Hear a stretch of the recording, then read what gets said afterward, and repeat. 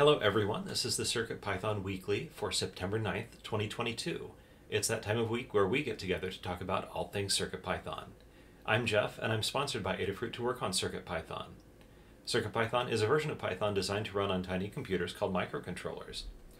CircuitPython development is primarily sponsored by Adafruit, so if you want to support them and CircuitPython, consider purchasing your hardware from adafruit.com. This meeting is hosted on the Adafruit Discord server. You can join anytime by going to adafru.it slash discord. We hold the channel meeting in the CircuitPython dev text channel and the CircuitPython voice channel. This meeting typically happens on Mondays at 2 p.m. Eastern, 11 a.m. Pacific, except when it coincides with a U.S. holiday. So yesterday was the U.S. Labor Day. That's why we're on a Tuesday. In the notes doc, there is a link to the calendar, so you can view that online or add it to your latest, your favorite calendar app. We also send notifications about upcoming meetings via Discord. To receive the notifications, ask us to add you to the CircuitPythonistas Discord role. There is a notes document to accompany the meeting and recording. Uh, after the fact, the notes document contains timestamps, so you can use the doc to view only the parts of the video that interest you the most. The meeting can run up to 60 minutes or more, so it gives you the option to skip around. And after each meeting, we post a link to the next meeting's notes in the CircuitPython dev channel on the Adafruit Discord. Anytime during the week, you can check the pin messages to find the latest notes doc and add your notes for the following meeting while things are fresh in your mind. That's particularly useful for hug reports, I find. Uh, and if you wish to participate but cannot attend, you can leave hug reports and status updates in the document for us to read during the meeting. So this meeting is held in five parts, not uh, counting the introduction. So next up will be community news, a look at all things CircuitPython and Python on hardware in the community. And it is a, in this case, I guess it's a look back on the Python for Microcontrollers newsletter. Then, second, we take a look at the state of CircuitPython, the libraries, and Blinka. And Dan, if you could let me know if you can take the core section of that, that would be great. Uh, this is a statistical overview of the entire project, a chance to look at the project by the numbers separate from what we're all up to. And then the third part is the first of two round robins. It is called Hug Reports, an opportunity to highlight the good things folks are doing and take the time to recognize the awesome folks in our community and beyond. Then, fourth, and the meat of the meeting, is status updates. Uh, take a couple of minutes to talk about what you've been doing in the last week since the last meeting and what you'll be up to over the next week until the next meeting. And then the fifth part is called In the Weeds. Uh, if we need to embark on a longer format discussion, either something that has been identified ahead of time or something that we realize during status updates, um, In the Weeds is the section to talk about that. And those are the five parts. That covers how the meeting will go. And with that, I will head over to community news. So I picked out some cool stuff. Um, number one, Adafruit adding CircuitPython support for Raspberry Pi Pico W. Um, the firmware UF2 for the Raspberry Pi Pico looks simple enough. On, on boot, it blinks the onboard LED three times and then boots into CircuitPython 8 but looks can be deceiving. The LED on the Pico W is not connected to a GPIO on the RP2040. It's connected to the Wi-Fi slash BLE module. That blinking means that the bootloader is able to load firmware and communicate with the module in the CircuitPython firmware, an important first step to implementing the rest of the wireless stack. And there's links to the Adafruit blog, YouTube, and Twitter. Next up, I'm going to guess this is pronounced Maps Flaps, I'm really not sure, on CircuitPython. Maps Flaps is a GPS mapping application for LCD displays. And based on that photo, it must also work on um, paper, e-paper displays. And there's a link to Twitter. Okay, next item. A small Raspberry Pi Pico Stream Deck with CircuitPython and 3D printing. And there's a link in the notes doc to Twitter. And uh, often Tim is here and puts these links into the chat, but I guess he's missing today. So if anybody wants to drop some of those links into the chat, uh, text chat, that would be wonderful. Next up, you can show incoming MIDI as raining MIDI notes on a NeoPixel grid slash matrix, links to Twitter and GitHub. And then last, handwritten digit recognition using CircuitPython, Raspberry Pi Pico, OV7670 camera, and a 120 by 160 TFT LCD. And more links on Twitter. So what is this newsletter, you may ask? The CircuitPython Weekly Newsletter is a community run newsletter emailed every Tuesday. The complete archives are on adafruitdaily.com slash category slash CircuitPython. It highlights the latest Python and hardware related news from around the web, including CircuitPython, Python, and MicroPython developments. To contribute your own news or project, you can edit next week's draft on GitHub and submit a pull request with the changes. Uh, or you can also tag a tweet with hashtag CircuitPython on Twitter or email cpnews at adafruit.com. And I really want to emphasize the community run aspect of this. We want to see your projects, we want to see your friends' projects, we want to see projects from all sorts of skill levels and sophistication um, because we believe CircuitPython, MicroPython, Adafruit Blinka are, yeah, great for everybody who is interested in doing computer hardware stuff. And uh, thanks, as always, to Anne for uh, collating the newsletter. And with that, I'm going to move on to the state of CircuitPython, the libraries, and Blinka. So every week, well, yeah, every week we pull statistics over the last seven days. Um, and because of this meeting being a day late, we are actually missing one day of statistics. So if we've overlooked you in because of this, um, it doesn't mean we don't value your contribution. It just means our scripts have betrayed us and uh, stopped us from giving you the recognition that we would like to. So anyway, um, overall, across all of the CircuitPython related repos on GitHub, we had 45 pull requests merged from 19 authors, which just feels like a huge number. And Kattni has highlighted some of the new or infrequent contributors, and I will try to read your names. We've got Boranoni, Scarelli, Jay Dimson, Bill88T, Ziracob 1, Brian Pugh, and Theta Zero. Uh, and TC Franks I don't recognize either. So uh, thank you to all of those authors, but particularly if you're just dipping your feet in with uh, helping us make CircuitPython better, we really appreciate it. And it is the reviewers who enable us to accept high quality contributions from those authors. And this week we had 11 of them. I won't read all of those names off, but uh, thank you to all of them. And Kattni will say a little bit more about reviewing uh, in a little bit. Issues wise, we had 30 closed issues by 10 people and 19 open by 16 people. So it's very nice both to see the number of people participating, uh, but also in this particular week, our number of open issues trended down, and that's always nice to see. And with that, I will uh, hand the talking stick over to Dan to tell us about the core of CircuitPython. Okay, thanks, Jeff.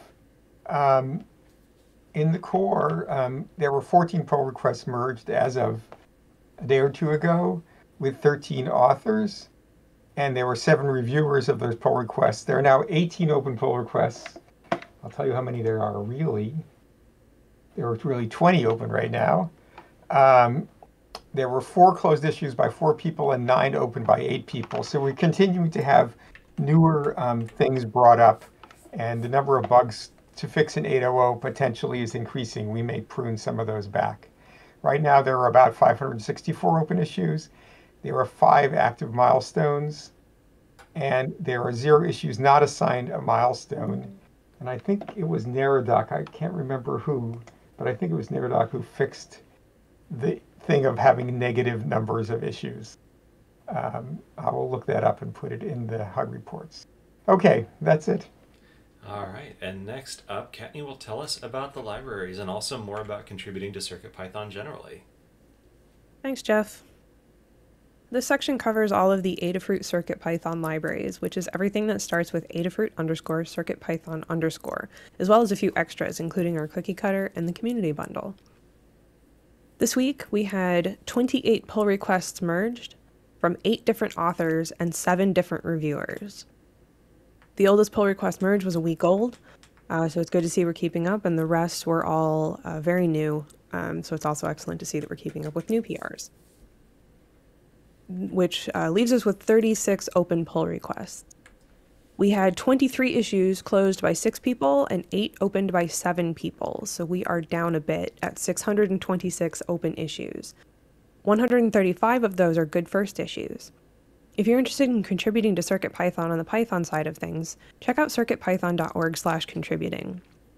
You'll find all of this information and more, including a list of open pull requests and a list of the open issues. If you're looking to contribute code or documentation, check out the open issues. If you're new to everything, there's the new Good First Issue label, which uh, we have identified as something that is on the um, simpler side, and um, we have a guide on contributing to CircuitPython using Git and GitHub, and we're always available on Discord to help. So don't let that process intimidate you. If you're interested in contributing on the reviewing side of things, check out the open pull requests. You can leave a comment, let us know you looked at it. Uh, if you have the hardware, test it. If you don't, check it for syntax, etc. Any of this helps. And once you have uh, become more comfortable with that and comfortable with our process, we can talk about leveling you up to the review team. In terms of library updates in the last seven days, we had one new library, PCF 8575, and a number of updated libraries, which I will not read off, but they are in the notes. And that's what I've got. All right, thank you, Kattni. And next up, Melissa will tell us about what is going on with Blinka.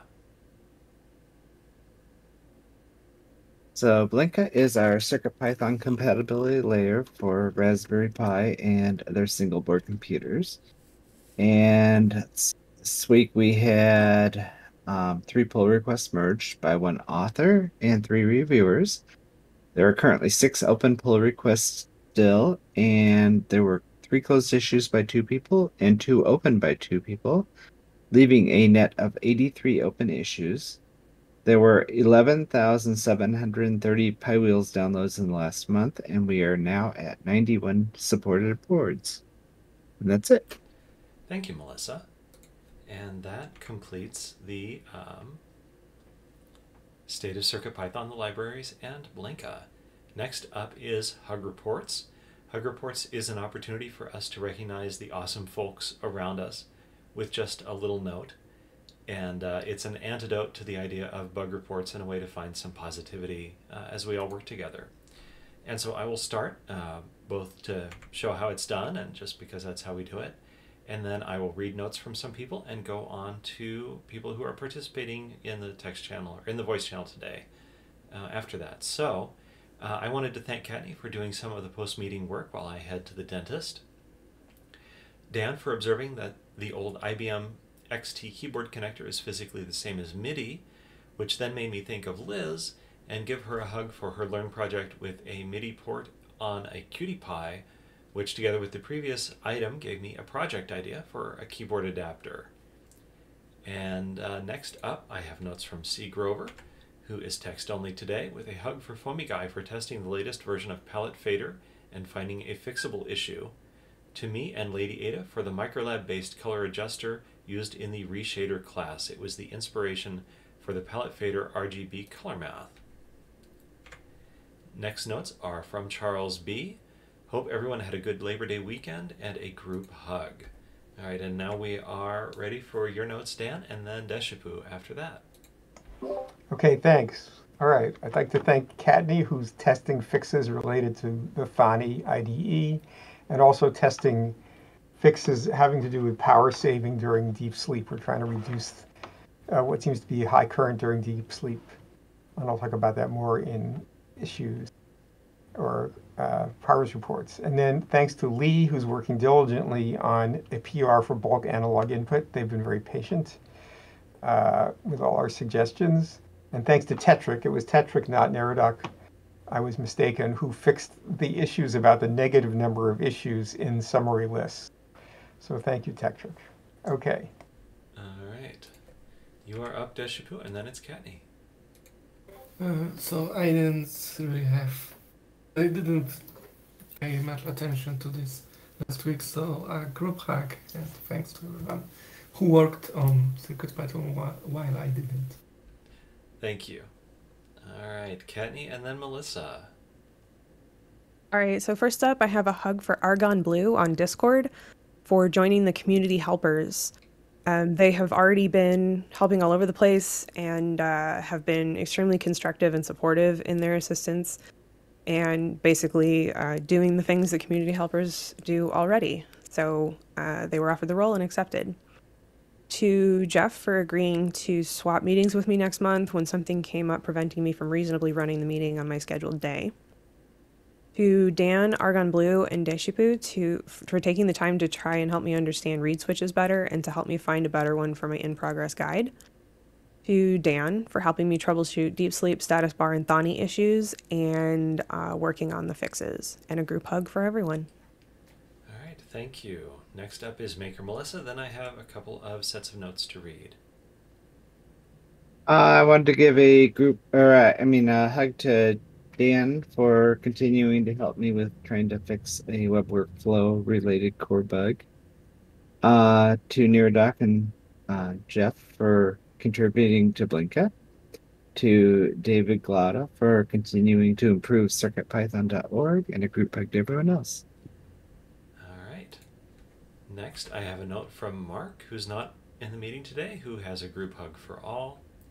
And finally, Tekktrik, who is text only today, uh, thanks TC Franks for all of the typing PRs. Uh, a hug report to Kattni for always being able to help unblock things for me even when busy.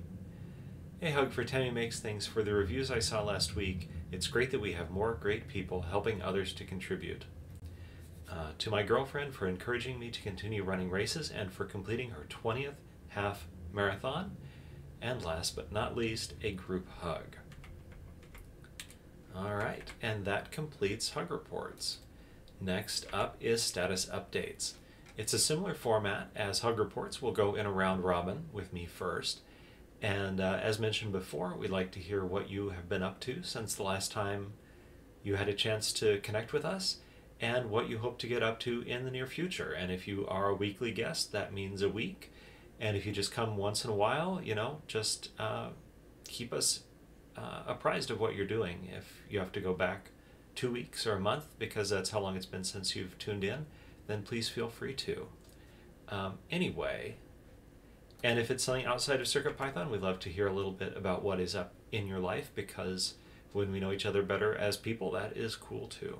So, anyway, I will start off. Uh, last week, I've been working on this project to get the PicoW or PyCow uh, Wi Fi working with CircuitPython. And the last milestone is that it can't associate with a Wi Fi network and retrieve its IPv4 address, the net mask, the default route. It can't send or receive packets yet, and for some reason I couldn't retrieve the information about the DHCP server. Um, and then after that, for myself, initially I started adapting vintage keyboards to USB HID with CircuitPython and RP2040. And after talking with Limor, we're going to make either three or four blog posts out of this.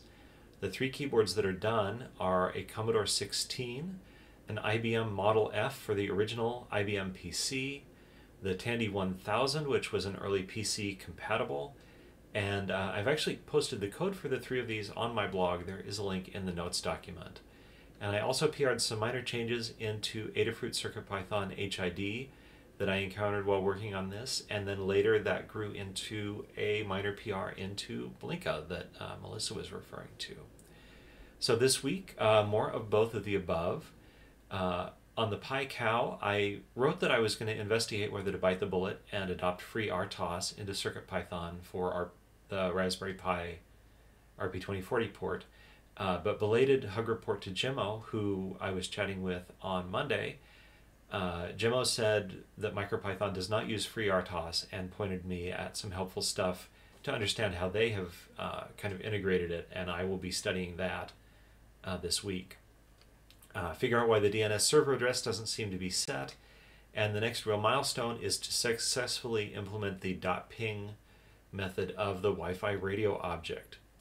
Um, on the keyboard front, the next and last keyboard I have planned for now is an ADB era Apple Macintosh keyboard. It's uh, from 1990 and it is a bidirectional clocked serial protocol.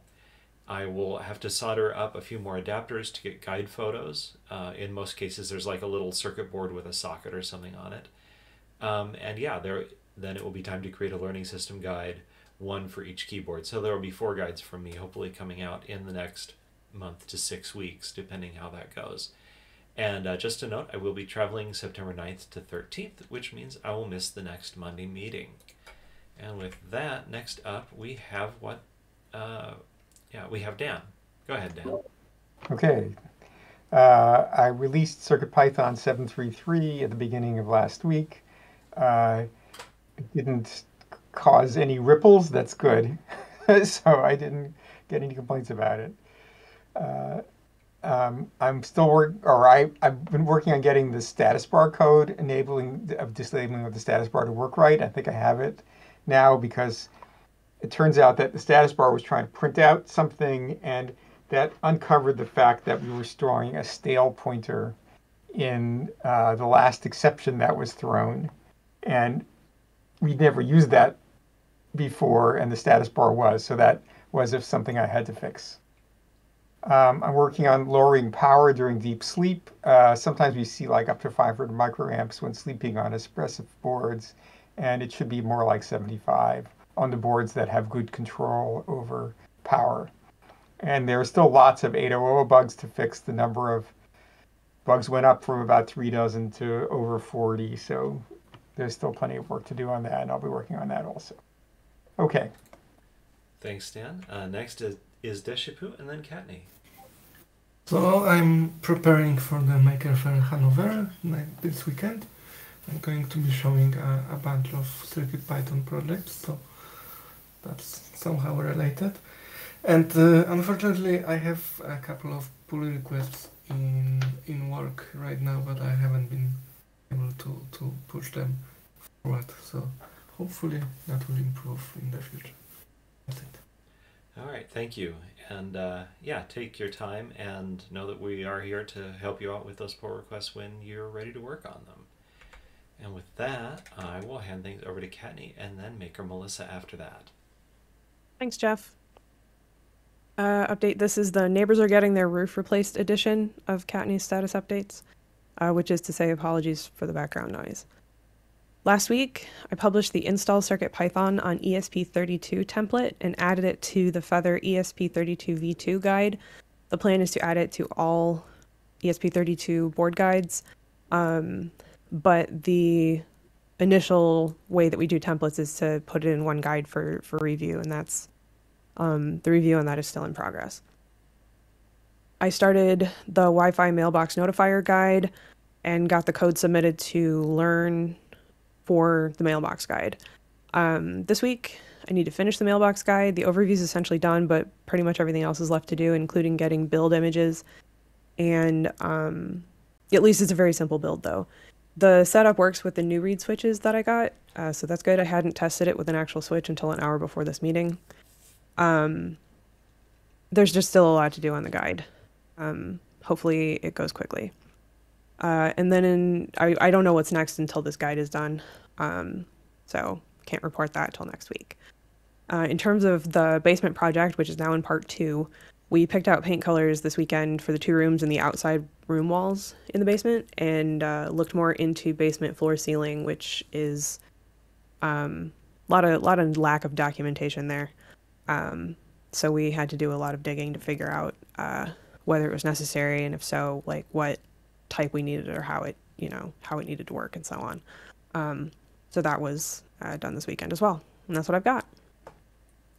Did you say a lacquer of documentation? Oh. Sorry. Nice, though. Also, I just learned that there's an abandoned house emoji. Thank you, Mr. Certainly. All right. Um, anyway, back on track. Uh, we've got um, Maker Melissa and then Paul Cutler. Go ahead, Melissa. Okay, uh, so this last week I worked on adding some more features to code.circuitpython.org, um, enough to push the current changes to the live website. And I added a nice feature transfer work between uh, devices and URLs. I added links for the full code editor to the web workflow welcome screen and documentation in the core. I created a couple of handy CircuitPython scripts to make switching between different Wi-Fi networks much easier using the console. And I started working on a web workflow quick start guide that should be finished soon. So this week I'm going to wrap up that guide and uh, then I'm going to work on fixing some bugs that I found while working on the guide. And then uh, work on any remaining features that I'd like to add to the editor. And I'll, I will also be uh, hosting show and tell for the first time all by myself. And other than that, I finished uh, moving out of my smaller office last week, and I'm working on packing up my larger office this month, which involves reorganizing and soldering up all my Adafruit boards so I can find them easily. And I'm finally able to start walking on my feet for the first time this past week since my surgery without any assistance. And that's what I got.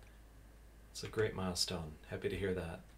All thanks. right. Uh, next, we have Paul Cutler, and then I will round out the section by reading notes from Tekktrik. Thanks, Jeff. Uh, last week I interviewed Thea Flowers for the CircuitPython show. Uh, that'll be the next episode coming out on September 19th. I think it turned out great.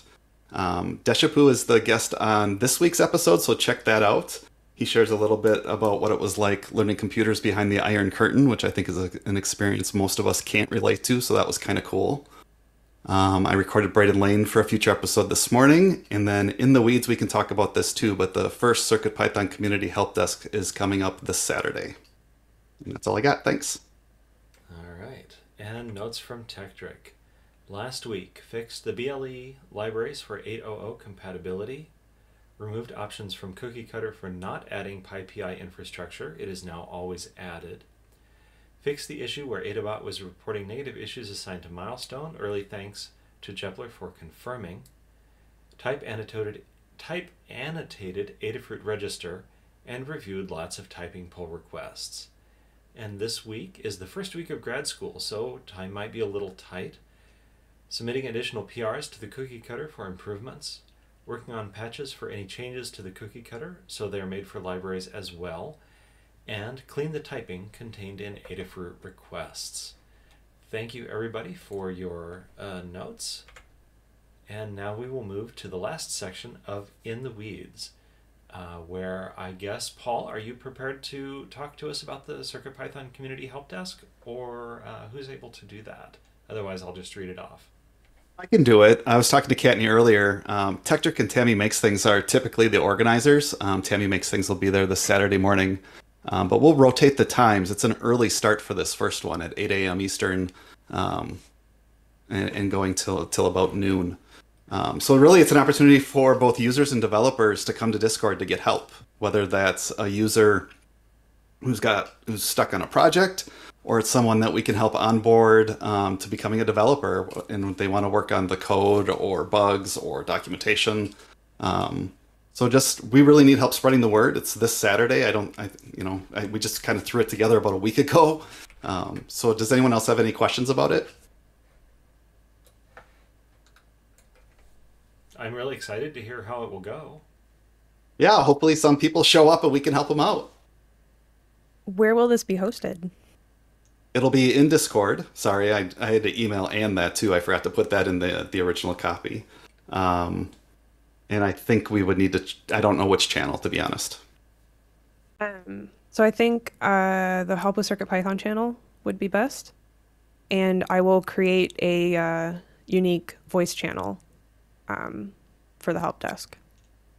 It's a great idea. Thank you. All right, and uh, if you have any questions about that, just ask around on Discord, and uh, we'll figure out more as the week goes on. Because you know, it's the it's the first run. It's a soft open, honestly, on Community Help Desk, I think.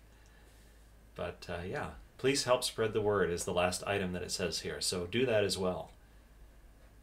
Uh, anything else that you, Paul, or anybody want to say about the Community Help Desk?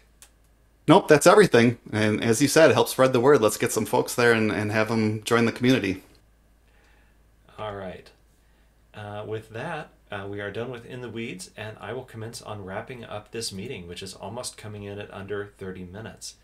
So, this has been the CircuitPython weekly meeting for September 6th, 2022. Thank you to everyone who participated, whether it was live or via notes. If you want to support Adafruit, CircuitPython, and those of us who work on CircuitPython, consider purchasing your hardware from the Adafruit shop at adafruit.com. And of course, if you're international, you can check the uh, resellers link at the bottom of the page to find out the official resellers of Adafruit. The video of this meeting will be released on YouTube at youtube.com slash Adafruit, and the podcast will be available on all major podcast services. It will also be finished in the Python for Microcontrollers newsletter, visit adafruitdaily.com to subscribe. The next meeting will be held on Monday, as usual, at 2 p.m. Eastern, 11 a.m. Pacific, and I believe that is on September 12th. Uh, the meeting is held on the Adafruit Discord, which anyone can join by going to adafru.it slash discord. To be notified about the meeting and any changes to the time or day, as well as to participate in the voice channel, you can ask to be added to the CircuitPythonistas role on Discord. We hope to see you all next week, and thanks to everybody who's listening to this after the fact. Um, thanks, everybody, and have a great week. Thanks, everyone.